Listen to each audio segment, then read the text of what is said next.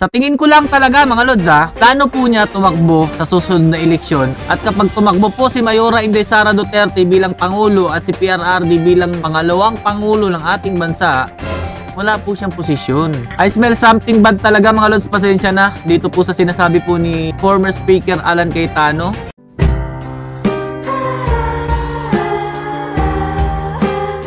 Yo, what's up mga lods? It's Bagat Peps TV. Welcome back po sa YouTube channel. Ngayon ko lang po ito gagawa ng reaction ang ginawa po ni Congressman Peter Alan Cayetano no nakaraan po na nagbigay po siya ng reaksyon dito po patungkol sa pagtakbo po ni PRRD bilang pangalawang pangulo ng ating bansa. Tinututulan niya po ito dahil masisira daw po o madudungisan daw po ang iniwang legacy po ni PRRD kapag tumakbo pa po siya sa susunod na eleksyon.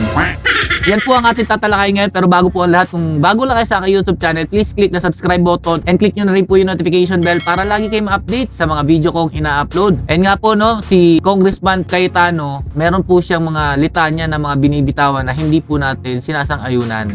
Uh, pasensya na po sa mga tatamaan nito mga lods, yung mga umiidolo po kay former Speaker Alan Cayetano. Alam naman natin yung mga ibang DDS vlogger eh kumakampi po sa kanya, eh akin lang naman po sariling opinion lang to. Huwag po kayo magagalit dahil nagbibigay po tayo ng sariling opinion dahil meron po talaga tayong napupuna na hindi po kayaya sa mga kinikilos po ni Congressman Alan Cayetano. At bibigyan po natin ng uh, komento lahat po ng mga napapansin po natin. Ito po muna mga lods, panoorin po natin ang kanyang mga sinabi po. Um, uh, Roger Pangilinan po ng Brigada News FM. Matanong ko lang po, uh, Congressman, Speaker, uh, Senator, Secretary, uh, Sara Duterte is running for President. And then, uh, Dicong is uh, running for Vice. Sa inyo pong palagay, sabi ng mga eksperto, ito po daw ay debatable. Ano pong tingin nyo rito uh, sa usaping ito? Ah, kumpirmado na ba natatakbo si Mayora Inday Sara Duterte? At saka magiging BP si PRRD? Ayos yung tanong eh. Well, agree naman ako kay Mayor Isko na in the end, tao naman ang mamimili. Agree na siya kay Yormi Isko mga lods ha. Mukhang nga, I smell something bad talaga mga lods. Okay. But yun nga ang gusto kong idagdag sa debate. Bakit sa Pilipinas, ang laki-laki na ng problema, ang issue pa rin ay personality. Mas gusto mo ba si X, si Y, si ganyan. Alam mo, habang nasa lokal ka, tanong mo na, top ilan ang kalaban mo last election? Isa. Siguro lahat ng issue na pag-usapan nyo.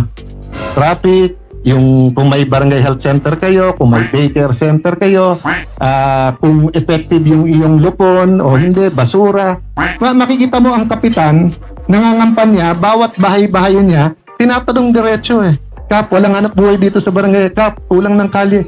Pero pag presidente pinag-uusapan, kung sino mas maganda forma.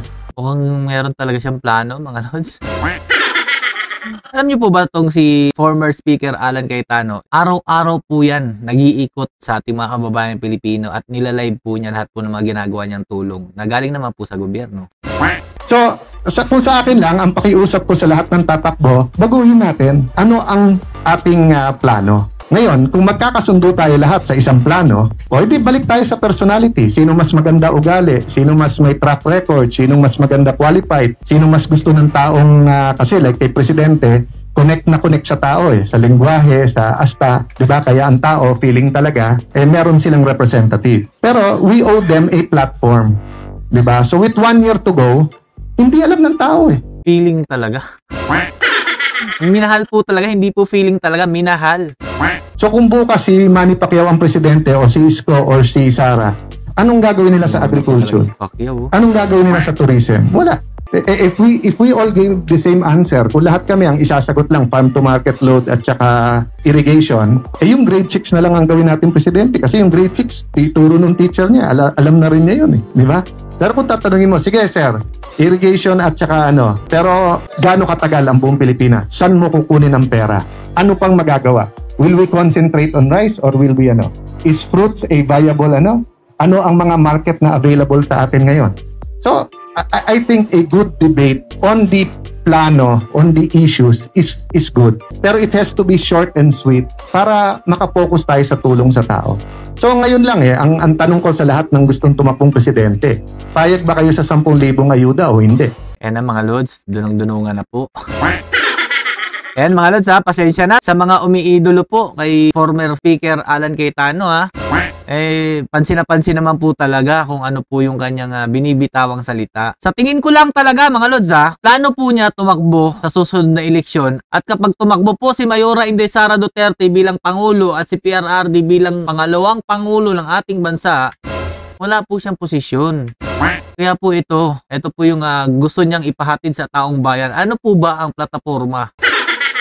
At at bakit, 'di ba? So so yun ang eh, yung pakiusap ko rin sa media, no? Na let's yank it out of them. Sa sa US, two years before the election, kailangan manalo ka sa partido mo.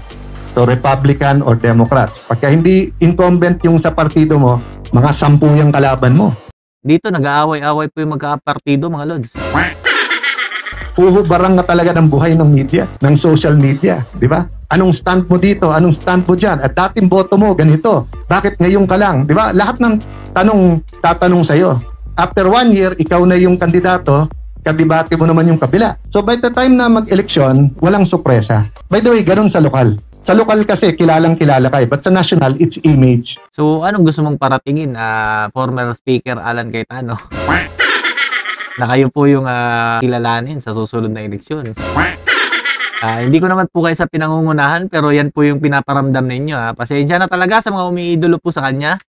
At ako din naman po napahanga nito minsan dahil nga po dun sa pagpanig po niya sa pagsasara po ng ABS-CBN. Pero munti ka na pong na-railroad yun mga lods ha. Kung- Kung ako ang personally mong tatanungin, halimbawa katabi ko siya ngayon at uh, hingi niyang sabi niya, Lan, ano ba tingin mo?